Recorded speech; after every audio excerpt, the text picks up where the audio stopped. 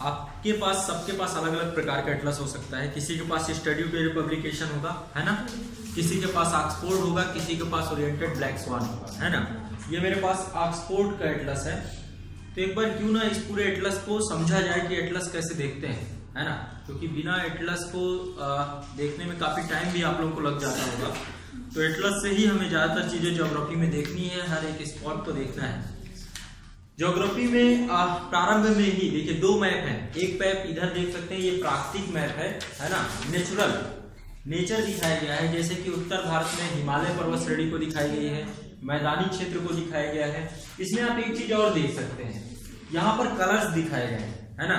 ये ग्रीन वाला हिस्सा ये दिखाता है कि यहाँ पर एक मैदानी क्षेत्र है है ना? और यहाँ पर नदियों द्वारा एक मैदान का निर्माण किया गया है। ये पर्वतीय क्षेत्रों का निर्माण कर रहा है। पर्वतीय क्षेत्रों में भी जहाँ पर ज़्यादा ब्लैक है है ना, वो समझ लीजिए कि वहाँ पर काफ़ी ऊँची पर्वत चोटियाँ हैं, है ना।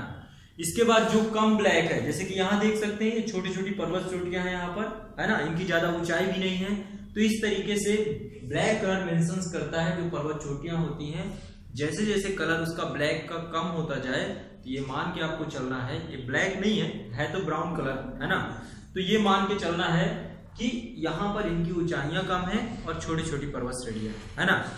इसके बाद यहाँ पर आप देख रहे हैं ये पठारी रीजन है। पठारी रीजन को हल्के सफ़ेद क्रीम कलर से दिखा रहा है। हर मैप में अलग अलग हो सकता है। अब आप इसमें देखेंगे, लेकिन इसमें भी एक तरीके से एक रेशियो ज़रूर है। ठीक है? ये आपका है इसका रेशियो अलग है लेकिन है यहाँ पर। यदि यहाँ पर आप देख रहे हैं ब्राउन ब्राउनिश कलर ऊपर दिखाया है ना? इसके बाद यहाँ पर ग्रीन दिखाया फिर व्हाइट है। नीचे उसके अपेक्षाकृत व्हाइट दिखाया उन्होंने। तो हर एक एटलस में ये होगा। तो सबसे पहले आपको आ, यदि कोई पहाड़ या पर्वत बताया जा रहा है पर्वत शिखर बताया जा रहा है पर्वत शिखर ब्लैक कलर से दिखाए गए हैं। ठीक है? ब्लैक कलर से छोटियाँ ट्रायंगल के रूप में दिखाई जाती है एटलस में। इसके बाद यहाँ पे है आपका राजनीतिक मानचित्र।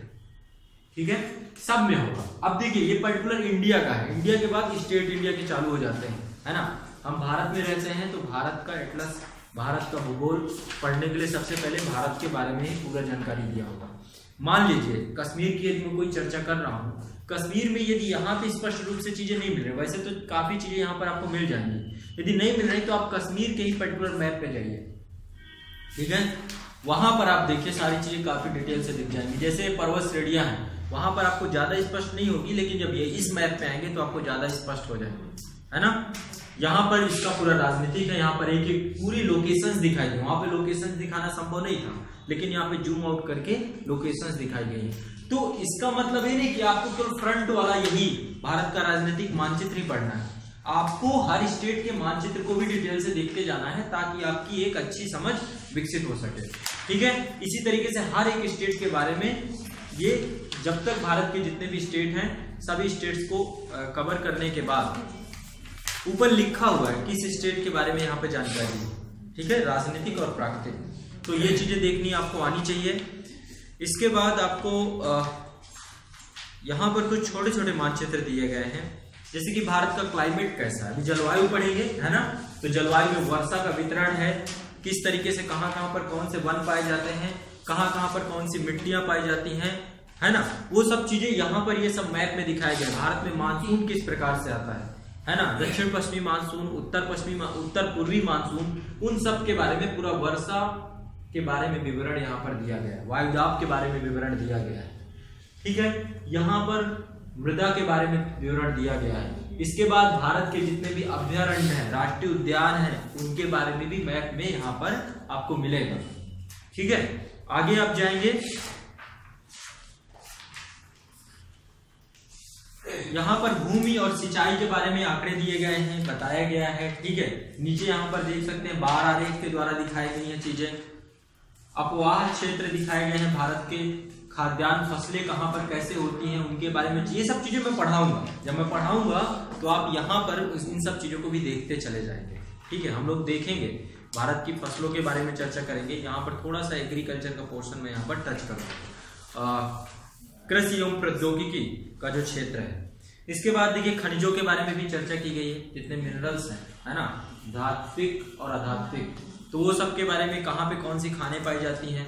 भारत में उद्योगों का क्या स्वरूप है? कहाँ पर कौन सा उद्योग डेवलप्ड है? कहाँ पर सर्विस सेक्टर है? कहाँ पर औद्योगिक क्षेत्र है? कहाँ पर प्राथमिक क्षेत्र है? उन सब के बारे में भी मानचित्र में दिखाया गया। पर्टियन भी दिखाया गया। ठीक है धीरे धीरे अब देख रहा हूँ मैं जो नए क्लास आ रहे हैं, उनमें काफ़ी चीज़ें अपडेट होती है। जैसे इसमें सूचना तंत्र डाल दिया गया है। ठीक है, सूचना तंत्र का मतलब है, आप देख रहे हैं ना जहाँ जहाँ पे धीरे धीरे कम्युनिकेशन बढ़ता चला जा रहा है है ना? उससे संबंधित पूरा ये दिया गया है कि दूरदर्शन केंद्र कहाँ कहाँ पर है है ना? आकाशवाणी केंद्र कहाँ कहाँ पर है? दूरदर्शन और दूरभाष केंद्र कहाँ कहाँ पर है? उनके बारे में भी यहाँ पर इन्होंने दिखाया है। फिर भारत की वायु मार्ग एयरवेज और वाटरवेज समुद्री मार्ग और वायु मार्ग के बारे में चर्चा की गई है। इसके बाद सड़क और अंतरदेशी, सड़क दिखाया गया। किस तरीके से जो नेशनल हाईवेज है, उनका जाल भारत में फैला हुआ है। उसके बारे में पूरी यहाँ पर चर्चा है। आप यदि सिर्फ़ इस मैप को सही तरीके से देखना जान गए ना, और इसको देख लिया एक बार सही तरीके से तो मुझे नहीं लगता कि फिर आपको किसी भी तरीके से ज्योग्राफी में प्रॉब्लम होगी। इसलिए एक बार इसे समझना ज़रूरी है। रेलवे के बारे में यहाँ पर पूरी जानकारी है है ना? कहाँ कहाँ पे कौन कौन से जोन्स हैं, उनके क्या मुख्यालय हैं, उनके बारे में यहाँ पे पूरी चर्चा दी गई है।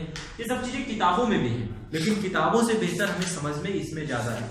तो क्यों ना एक बार हम लोग मानचित्र से ही अध्ययन करें। पर्यटन स्थलों के बारे में काफ़ी बेहतरीन तरीके से दिखाया गया है ना? जो हमारी विरासत है। इसके बाद धर्म और भाषा। भारत में कितने धर्म हैं, उनकी भाषाई आधार पे किस तरीके से हमारे क्षेत्र हैं। राज्यों का हमारा पुनर्गठन भाषा के आधार पर हुआ है ना, उन्हीं सब चीज़ों को यहाँ पर भी मेंशन कराया गया है। इसके बाद यहाँ पर जनसंख्या दिखाई गई है। जनसंख्या के अलावा ह्यूमन डेवलपमेंट को दिखाया गया है।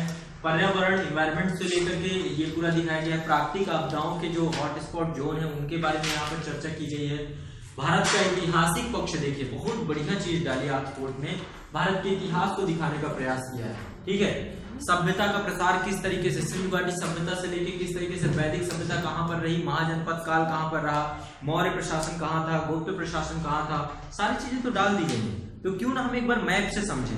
क्यों ना हम मौर्य काल के उन सभी क्षेत्रों को इंगित करें मैप से ही कि कहाँ पर कौन कौन सा रीजन है? कहाँ पर मगध महाजनपद रहा? कहाँ पर अंग महाजनपद रहा? मगध ही क्यों सेंटर बना मौर्य प्रशासन का? तो जब कभी इतिहास पढ़ेंगे तो भी इनका, इनके माध्यम से देखिए, पूरा ऐतिहासिक पक्ष इन्होंने डाल दिया। यदि ये चीज़ें स्टडी टूडे में ना मिले तो आप इससे ले लीजिएगा। ठीक है? फ़ोटो क्लिक करके आप लोग अपने पास रख सकते हैं। ठीक है? काफ़ी अच्छा है ये भी। इसके बाद यहाँ पर देखिए अब इन्होंने क्या किया? विश्व के इतिहास को चालू कर दिया। विश्व के इतिहास में कॉन्टिनेंट पहले एशिया फिर अफ्रीका पर्टिकुलर एक एक महाद्वीप लेंगे। तो पहले एशिया महाद्वीप में कितने स्टेट है उसका प्राकृतिक और उसका भारत किस महाद्वीप में आता है? एशिया में। तो शुरुआती एशिया से की गई है। ठीक है? एशिया महाद्वीप के बारे में भी कुछ जानकारी मिलेगी। पर्टिकुलर एक एक स्टेट यहाँ पर भी जलवायु प्राकृतिक यहाँ की प्र, जो वन क्षेत्र हैं, या फिर यहाँ की प्राकृतिक वनस्पति क्या क्या है, उन सब के बारे में पर्टिकुलर जो सार्क कंट्रीज़ हैं, दक्षिण एशिया कंट्रीज़ हैं, उनके बारे में अलग से पूरा मैप दिया गया है। नेपाल, भूटान, बांग्लादेश, श्रीलंका, ठीक है? इसके अलावा मध्य एशिया की कंट्रीज़ अलग दिया गया है, आसियान कंट्रीज़ अलग दिया गया है है ना? तो जब आईआर आपको जो पहला सेशन है, आईआर चल रहा है ना, आईआर में भी आप लेकर आए इसे। यदि आपको थोड़ा अच्छे से आईआर समझना है। मैं तो कहता हूँ, इतिहास में भी मैप रखें अपने साथ। आईआर को भी मैप से पढ़ते हैं। इंटरनल सिक्योरिटी को क्यों ना हर चीज़ को मैप से पढ़ते हैं? हर चीज़ को मैप में लोकेट करते हुए चलते हैं। है ना? तो ये आपको कहाँ से कहाँ ले जाएगा? आपकी तैयारी को कितने गुणवत्ता युक्त बना देगा, ये आपको बाद में पता चलेगा। मैं न्यूज़पेपर भी पढ़ता हूँ तो मैं अपने साथ एटलस रखता हूँ। न्यूज़पेपर मुझे कोई नया स्टेट दिख गया या इंटरनेशनल रिलेशन में कोई मैप में देख लीजिए तुरंत। नहीं मैप में गूगल में सर्च करके देख लीजिए। है ना? तो थोड़ा क्या है ना, छवि बन जाती है हर चीज़ की। एक बार जब इमेजेस फॉर्म पे आप चीज़ों को देख लेते हैं तो मुझे नहीं लगता कि फिर चीज़ें जल्दी भूलती ही। एशिया के बाद आपका नेक्स्ट आता है। ये थोड़ा क्रम याद रखिएगा। एशिया के बाद यूरोप। एशिया से ही जुड़ा हुआ है यूरोप। यूरेशिया बोलते हैं ना पूरा है ना?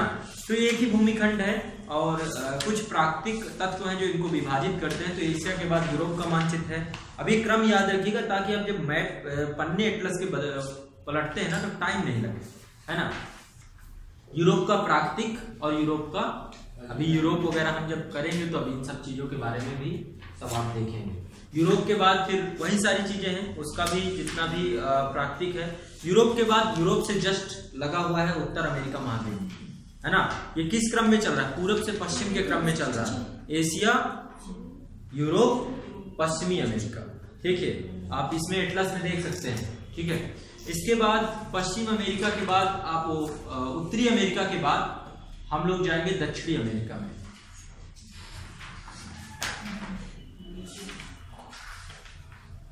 ये रहा आपका दक्षिण अमेरिका, ठीक है?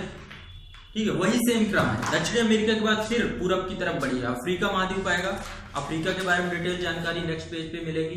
तो ये क्रम बना हुआ है, जब कभी आपसे क्लास में बोला जाए कि ये चीज़ें देखे, फिर आप अफ्रीका के बाद ऑस्ट्रेलिया महाद्वीप। ठीक है? इसके बाद शायद महासागरों के बारे में भी इसमें चर्चा की गई हो। पर्टिकुलर जितने भी महासागर हैं, उन सभी महासागरों को अब यहाँ पे महासागरीय जल धाराएँ देख रहे हैं।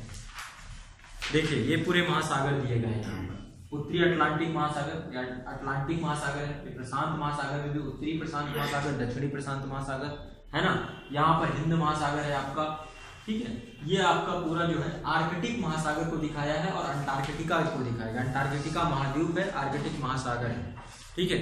इसके बाद ये पूरा दिया गया है विश्व। अब इसमें इसका सबसे बड़ा रोल क्या है? जब मुझे कर्क रेखा, मकर रेखा और विश्वत रेखा। इन तीनों से संबंधित जानकारी चाहिए हो तो इससे बेहतर मैप नहीं है। क्यों? क्योंकि यहाँ से कौन कौन से कंट्रीज़ से होके जा रही है, मैं इस मैप में देखना चाहूँगा। ठीक है? तो थोड़ा सा हमें स्पेसिफिक होके जानना है तो काफ़ी बेहतर तरीके से आप इस मैप का अध्ययन करेंगे। फिर फिर पूरे विश्व के खनिज कहाँ कहाँ पर पाए गए हैं? विश्व का पर्यटन कहाँ कहाँ पर है? विश्व में जनसंख्या का घनत्व कहाँ कहाँ पर है? भाषाई आधार पे लोग कैसे रह रहे हैं? वही सारे मैपों का आगे संकलन किया गया है। यहाँ तक कि कुछ भौतिक भूगोल से संबंधित टॉपिक को भी इस मैप में समेकित करने का प्रयास किया गया है। ठीक है, जैसे कि प्राकृतिक आपदाएँ और प्लेटें दिखाई गई प्लेट टेक्टोनिक थ्योरी इसमें प्लेट्स दिखाई गई जब कभी प्लेट टेक्टोनिक थ्योरी पढ़ें तो ये मैप को देखें तो आपको पता चले कि कितनी बड़ी बड़ी प्लेटें हैं और कौन कौन सी छोटी प्लेटें जैसे कि प्रशांत महासागरीय plate African plate Eurasian plate Nazca plate छोटी छोटी प्लेटें दिखाई गई हैं बड़ी बड़ी प्लेटें भी दिखाई गई हैं। ठीक है, और अंत में इन्होंने यहाँ पर विश्व के जितने भी पर्टिकुलर देश है, जैसे एशिया है, उसमें जितनी कंट्रीज़ हैं, उन सब की राजधानी, उनके ध्वज, उनकी मुद्रा, उनको समझाने का प्रयास किया है। तो एक बार जो है, एटलस को आप खुद भी गंभीरता से देखें, है ना? खाली समय में आप एटलस का अध्ययन ज़रूर करते रहें। जब आपका पढ़ाई में मन ना लगे तो इस पर काम करें, बहुत अच्छा लगेगा। ठीक है? मुझे जहाँ तक लगता है कि जब आपको लगे कि अब नहीं पढ़ना या फिर ऐसा लगे डिमोटिवेशन आ रहा हो, है ना? ये होता है ना आमतौर में, सात दिन में एक दो दिन ऐसा होता है कि हमारा मन नहीं करता। उस दौरान आप खाली टाइम पे बैठ जाइए, है ना? या तो मल्टीपल चॉइस क्वेश्चन टिक कीजिए, उस समय कोई थ्योरी मत पढ़िए। लोग किताबें, उस दिन किताब छोड़ दीजिए। मल्टीपल चॉइस क्वेश्चन घटना चक्र लेकर पढ़ सकते हैं या फिर मैप का अध्ययन कर सकते हैं। उस टाइम को भी यूटिलाइज करना है। ठीक है? या प्रीवियस ईयर क्वेश्चन उठा लीजिए यूपीएससी के पीसीएस के, उनको टिक मार्क करते रहिए, है ना? तो खाली समय भी आप इन्वेस्ट ही करें ठीक? तो ये मैं बताना चाह रहा था। अब यही काम इस पे करना है कट एंड ड्रॉ पे। जो चीज़ें मैंने यहाँ पे देखी, जो चीज़ें मैंने यहाँ पे समझी, इसकी नकल नहीं करनी, इससे नहीं उतारना। अब मैंने समझ लिया कि इस एटलस में कहाँ पे क्या क्या चीज़ें लोकेटेड है। क्यों ना मैं अपने आधार पे यहाँ पे प्रैक्टिस करूँ तो यहाँ पर आपको हर एक टॉपिक की संबंधित प्रैक्टिस करनी है। ठीक है पर्टिकुलर चीज़ें कहाँ पर हैं, आप यहाँ पर आराम से, बहुत ज़्यादा, बहुत मैप है इसमें, नहीं हो दूसरा खरीद लीजिए। जैसे मुझे नदियाँ दिखानी है, मैंने पर्टिकुलर नदियाँ दिखा दी, कहाँ से, कौन सी निकली है? ठीक है, किस किस स्टेट से गई हुई है? थोड़ा सा, थोड़ा स्पेसिफिक तरीके से मैप में बनाने का प्रयास करें तो आप काफ़ी बेहतर तरीके से पहुँच पाएँगे। ज्योग्राफी फिर मुझे नहीं लगता कि आपकी भूलेगी कभी। ठीक है, बहुत वैज्ञानिक सब्जेक्ट है, बहुत स्कोरिंग सब्जेक्ट है, और बहुत ही आसानी से याद करने वाला सब्जेक्ट है। यदि इस तरीके से पढ़ा जाए तो मुझे नहीं लगता कि ज्योग्राफी एक बहुत ही कठिन सब्जेक्ट है। फिर ऑप्शनल ज्योग्राफी रख लो। यदि इस लेवल तक की तैयारी कर डाले हो तो आप, है ना? चलिए। आज अपने टॉपिक पे आते हैं। हमारा टॉपिक है